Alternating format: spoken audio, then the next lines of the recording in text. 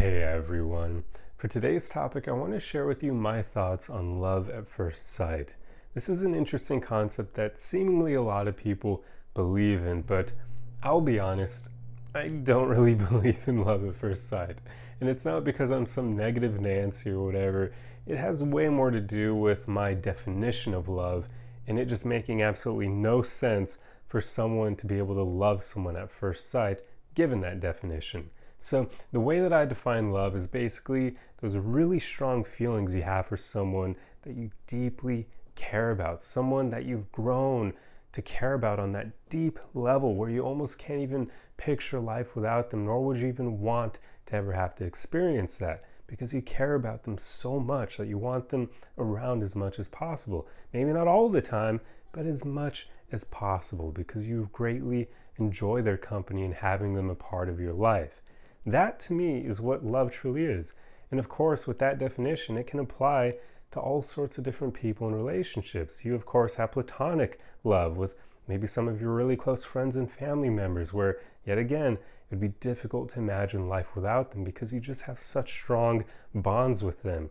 And then, of course, there's romantic love, where it's the same thing as that platonic love, only now you get to do naughty business with them in the bedroom and that sort of thing. And you just have stronger feelings for them because you connect in different ways. So I can't picture someone being able to love someone else with that definition at first sight. It doesn't make any sense because you kind of have to know someone pretty well to develop that level of real love, at least by my definition. So I don't believe in love at first sight because how could you ever have such strong feelings for someone that you only just met? If you even met them, right? Like, usually, love at first sight, you may not have even talked to the person. You just kind of saw them and were so smitten with how attractive they were that I would argue you're probably feeling lust more than anything, where you just are like, holy crap, they're so attractive. I want to do naughty things with them in the bedroom. But, like, do you actually want to tackle life with them? You don't know them. Would you take a bullet for them or push a push a push them out of the way and get hit by a car for them? Because with that real form of love, you would basically be willing to do anything to protect that person because you care about them to that extent. That's why so often parents will do incredible feats to protect their children. Like you hear about mothers lifting a freaking car off of their kid if like something some tragic accident happens and the kid is pinned underneath it adrenaline has a lot to do with that but like they're doing that out of love or you hear about like parents like basically protecting a kid with their bodies if like something's falling overhead and like there's so many things people do out of love that would you do those things for a stranger you barely even know just because you find them really attractive. Would you? like, how many people believe in love at first sight? Would you take a bullet for that person you only just met and don't even know? Would you? I don't know, but that's that's why I don't believe in love at first sight because it just doesn't make any sense from a, a scientific viewpoint. Now, if you'll bear with me here, I'll delve into some spiritual aspects, which may be another way of describing this, and probably the only way that would make sense because scientifically, yeah, it makes no sense to me whatsoever.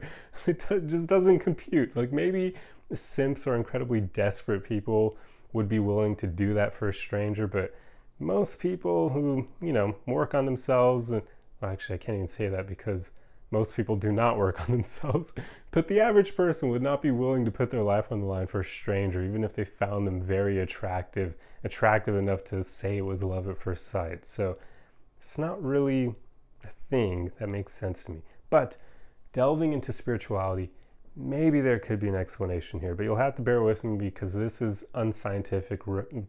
This is an unscientific realm that we can't verify, we can't prove, but a lot of people do believe in some spirituality that would give them the notion that maybe souls are real and that we all have souls. Now, I'll run forward basically assuming that this is a case. Yet again, we can't prove it, and I honestly, personally, don't even really know if I believe this. I would like to believe it. It sounds nice, but I don't know. we, we don't know. We can't explain these things, right? I tend to be agnostic on things that we can't explain because we can't explain them. We don't know, right? So I just choose to say, hey, it could be the case or it could not be the case.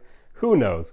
I tend to be that way even with like the idea of a, a creator or like a god, although I never view it in the way that religion labels God because that makes no sense. Like us made in his image. Why would he be a he? Why would he have any gender?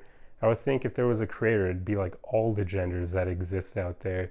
And I don't mean like all the ones that all these people are creating out of thin air. I mean, the real ones, I'd probably be better off to say, it'd be all the sexes that exist.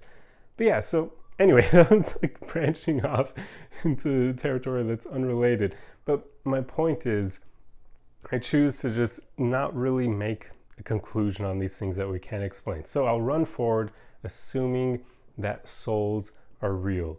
Maybe this could lend some credence to love at first sight because if souls are real, and there is like this realm of souls where we can encounter other souls and interact with them and bond with them, then maybe love at first sight could actually be a situation where you and that other person in your soul forms already have a bond from before you became a human in this physical realm. Maybe that could explain it because scientifically it makes no, no sense to me whatsoever. But if souls are a thing, maybe that explains it. Where you just have that prior connection with this person. In your human form, you can't remember it because, I mean, we're only equipped to deal with this physical world and everything within it, right? Like we can't fathom anything that would be immaterial because we're not immaterial ourselves.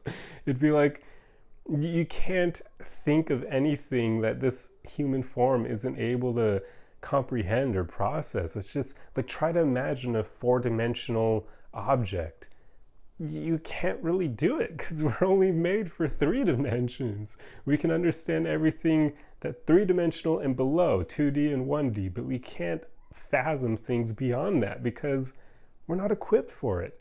So you wouldn't be able to obviously recognize a soul in someone else because you're not tapped into that. You're in the physical, not the immaterial. But if the immaterial is a thing, yet again, can't prove it, but if it is, maybe you could recognize a soul that you already knew from that point somehow.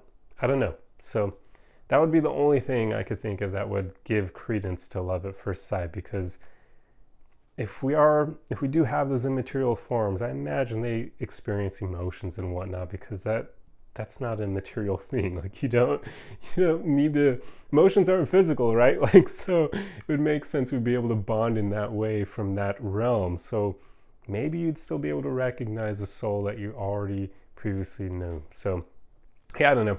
That's just I don't even honestly know if I believe in that myself, but like I said, I tend to remain agnostic on things like that. So I'll open the door to that possibility. So yeah, that's um those are pretty much my thoughts on love at first sight. Scientifically, I don't believe in it at all. But if there's more than science, maybe that's the thing. Who really knows? None of us can, can figure that out. None of us can ever. Yeah, so there you go. But uh, I hope you enjoyed this video. I hope I didn't lose you with the spiritual talk if you're incredibly scientific and won't believe in anything that can't be explained by science, because I know there's a lot of people out there like that. But, um, yeah, hopefully you enjoyed this little journey in this video. But if you like content like this, be sure to subscribe for more. If you enjoyed the video, feel free to leave a like on it, and I will see you guys in the next one. Arrivederci!